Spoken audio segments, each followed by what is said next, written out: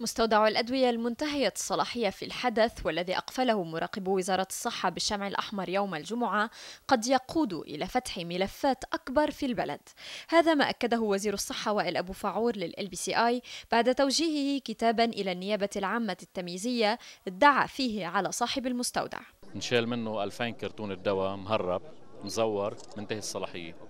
وبالتالي آه، الأمر خطير جدا. يعني لو تسربت هذه الأدوية إلى السوق كانت كارثة كبرى على قسم كبير من المرضى اللبنانيين. وأنا بعتقد أنه هذا الأمر قد يكون قد يقول إلى شبكة أكبر بالبلد.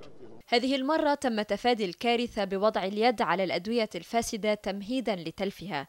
لكن هل تظهر تحقيقات مصدر الأدوية لملاحقته؟